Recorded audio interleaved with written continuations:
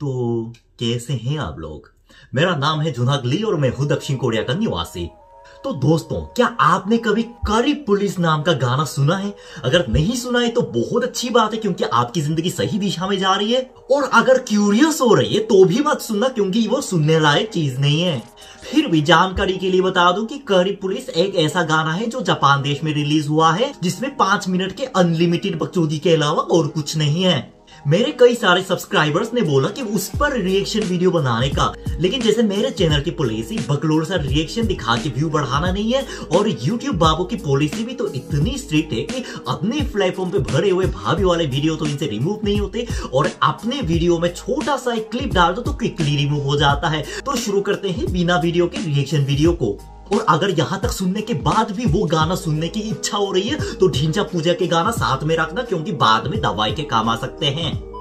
करीब पुलिस वाला गाना शुरू होता है एक वहियात सेंटेंस के साथ, जिसमें बोला जाता है कि उनके माता पिता दोनों करी हैं। पहली बात, ये बोलने वाले, तुम किस चीज़ के औलाद हो? मेरे को यू समझ में नहीं आ रहा। ये तो कुछ भी नहीं है, दिल अपने थाम कर बैठो, क्योंकि इनका अलग सा लेवल शुरू हो जाता है अगले लाइन में। मैं खुद गा के सुनाता हूँ कि, अगर करी नहीं खाया तो मैं नंगा होके नाचूँगा। यार ये लोग कहाँ से ऐसी सस्ता नाशा करके आ गए कि लेडीज़ के नाम पे डीठी लिख दिया? इस सॉन्ग की जगह यूट्यूब पर नहीं कूड़ेदान पर होनी चाहिए। मतलब यार समझो कि अगर हमने दारू नहीं पिया तो क्या साला हम सड़क पे नंगा नाचेंगे? मेट्रो पे नंगा हगी हगी करेंगे कि मेरे सच्ची में ना बेइज्जती की भी एक हद होती है। मुझे तो खुलेआम गाली देने से ज़्यादा ना इस तरह के वीडियो ज़्यादा हानिकारक लगते हैं। बहुत हो गई गाने पर बकवास, क्योंकि ऐसे गाने पर मैं एक सेकंड और वेस्ट नहीं करना चाहता।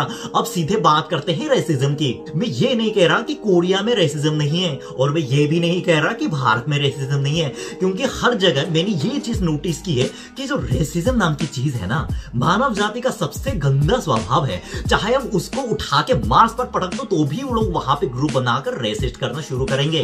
लेकिन ये ज़रूरी नहीं है। पता है, इस गाने की सबसे गलत बात क्या है? इस रेसिस्ट गाने में एक ऐसे जापानी यूट्यूबर ने रोल किया, जो हिंदी बोलते हुए अपने भारत के प्रति प्यार सबको दिखाता था। नाम नहीं बोलूँगा क्योंकि आप सबको पता है मैं किसकी बात कर रहा हूँ। और अन्याय तो यह है कि इन लोगों का फ़र्ज़ होता है कि इस तरह की चीज़ को रोको। अगर कोई इस तरह का वहियात वीडियो बना रहा है तो उसको रोकने का उसका फ़र्ज़ बनता है। लेकिन इस महाशय ने तो रोकने के बजाय सीधे उस गाने में रोल प्ले करके अपने विकास को ही रोक दिया। क्या करूँ? जैसे बता दूँ तो मैं भी उनके वीडियोस देखता था। उनके बात करने का जो तमीज है, बात करने की जो नम्रता है, उन दोनों से मुझे भी प्यार हो गया। लेकिन उसके पीछे क्या छुपा है वो तो अब बाहर आ चुका है। मैं तो कहता हूँ कि हम में से कोई दूध का दूल्हा नहीं है। लेकिन कम से कम दो दो चेहरे मत रखो यार। अगर खुलेआम नफरत भी फैलाते या फिर भर भर के गालियाँ देते ना तो भी इतना कांड नहीं होता जितना की आज यूट्यूब के प्लेटफॉर्म पे मचा हुआ है। इवन मुझे भी कितने लोग क्या क्या सुनाते हैं कमेंट सेक्शन में क्या क्या सुधारते हैं, लेकिन मैं उनके सामने शरीफ बनने की कोशिश नहीं करता।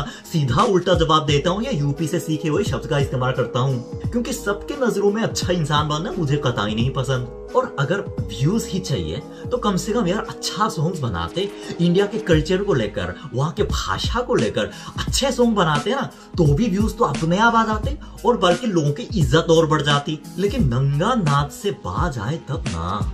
बस मैं आखिरी बात ये कहना चाहता हूँ कि रेसिज्म जो है ना, एक बुमेरांग की तरह होता है। तुम इस साइड से फेंकोगे, लेकिन एक दिन वो उस साइड से अपनी साइड वापस आकर आपको मारेगा और पता भी नहीं चलेगा।